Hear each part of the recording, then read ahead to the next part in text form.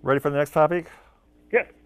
Okay, so this next one is um, this was my uh, undoing, uh, my pick.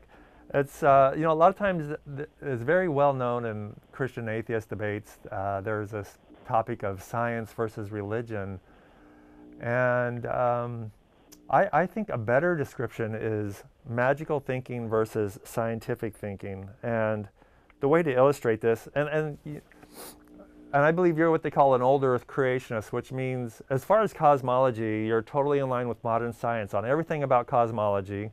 But when it comes to biology, you think modern science is wrong in teaching that humans, for example, evolved from other animals.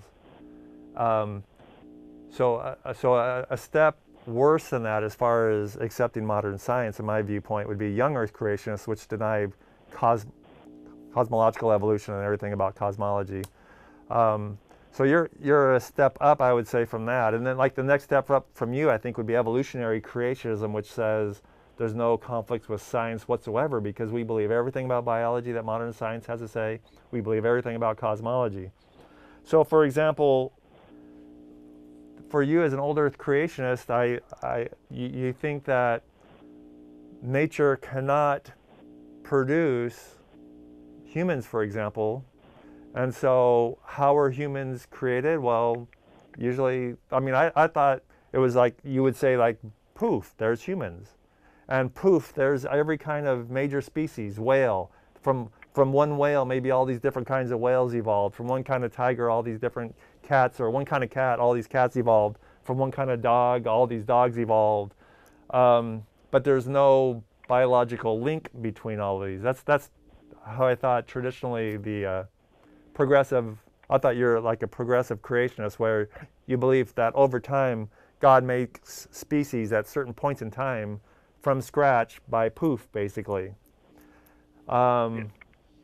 So that's what that's what I think is magical thinking because when you do that, you're saying basically just God did it by magic. How did He do it? He just said, "Let there be," and boom, there it is. So I'll, I'll let you give you some time to respond to that. Well, I guess I would say, you know, uh, one comment I would say is that while I, I think there's a lot of stuff in cosmology that I agree with, there there are areas where I think there are some wrong ideas. Uh, you know, whether you know one of the ideas is that where there's life or where there's water, there's going to be life on a planet. And so it's it's not this uniform acceptance of everything in cosmology and astronomy, and this uniform rejection of everything in biology. Um, but again, what I would say is uh, that as as I understand what Scripture is describing in Genesis one, where it's talking about uh, God's creative work, is that God creates the universe um, and there are certain animals that he creates, and specifically it's these relational animals, and then also creates humanity, and specifically being made in his image. And so um, I don't know that the physical stuff of the animals that are being created that's part of God's original creation. And so the fact that he might use some sort of process to put the body together I don't know that that's right, but it wouldn't it actually wouldn't bother me a whole lot to find out that that were right. And so what I am trying to do as a Christian is say, okay, God's revealed stuff about how he created and how he works through the scripture, and God has revealed a lot about how he's created and how he's worked through creation, and I want to study both of those under the uh, under the idea and an evidenced idea that I've looked at this in at least a few areas in depth that where I've properly interpreted both the words of Scripture and the universe, that they're going to say the same thing. I guess I'm kind of curious. Why do you think the Bible is teaching anything whatsoever about um, science or creation? I mean, for example, you know, if you if you take the young Earth creationists, they say you know, God created everything in six days about 6,000 years ago. Mm-hmm. And you're saying, no, those six days in Genesis are not literally six days. They're, they could be eons or time periods or whatever. And then basically you just interpret that, interpret it as not as six 24 hour days. But yet the Bible does teach us something about science.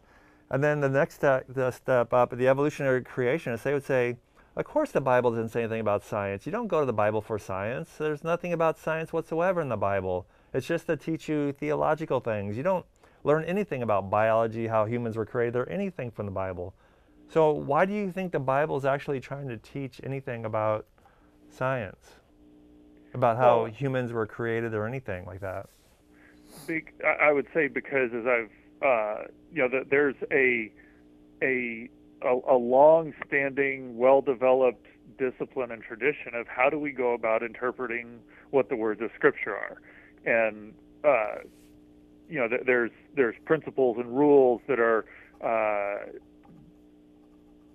that have been developed to help ensure that we have an accurate interpretation. Now, what I would say is, as we go and look at what the words of Scripture are and how and apply that proper interpretation method, um, where it says something very specific, then we ought to look for that. And so, in the Genesis creation account, or or just even throughout Genesis, these are written like they're historical accounts of things.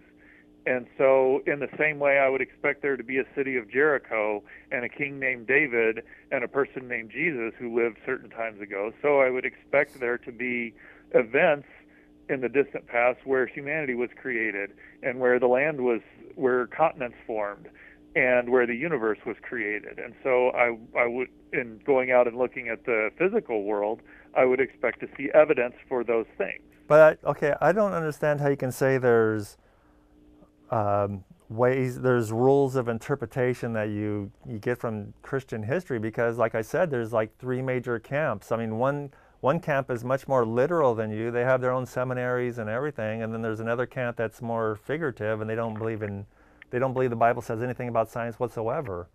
So how could you say? I mean, your worldview obviously is the correct worldview, but you think the other major camps are wrong, right? But but the other camps think you're wrong.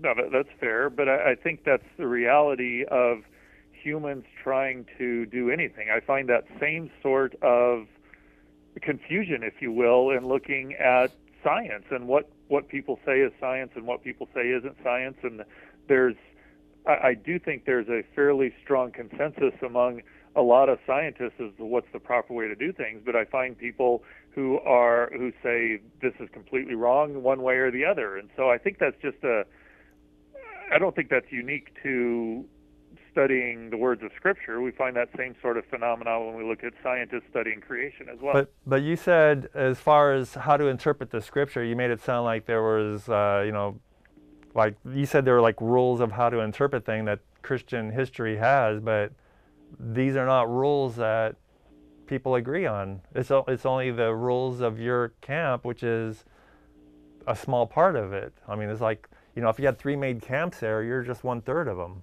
I mean, uh, the numbers aren't the numbers aren't equal. I don't know which most are, but I'm just saying that I don't know how you can say that there's rules of interpretation when there are no rules of interpretation because every group can call the other one heretics, basically. yeah, people can say lots of things, but that doesn't re- re- reflect the reality of how the scholarship is done. As you know, I mean, as as I've interacted with theologians and studied and talked about this, is there are generally accepted rules, and so I would say when you're looking at this old Earth, young Earth evolutionary creationism spectrum, it's not that the 24-hour day is an improper interpretation of Scripture, or that that's an invalid way of interpreting Scripture. I think there's some ambiguity as to what the length, what that time scale is. The the the problem comes is when the young Earth creationists decide to say that this is the only way to interpret it. Well, that's no longer consistent with biblical theologians who do hold Scripture in high regard and and who apply these techniques. So nobody's saying that the young Earth interpretation is out of bounds. The question is, does it fit? Does it align with what God's revealed through Scripture as well as what what He's revealed through creation? And I think it it fails on that second test. Okay, well, um, thanks for calling in. We're out of time on this show. Uh, we're going to tape another show. Uh, appreciate your time and volunteering to do this. Well, thanks. I've enjoyed the conversation. Yeah, me too. Okay, thanks. Bye.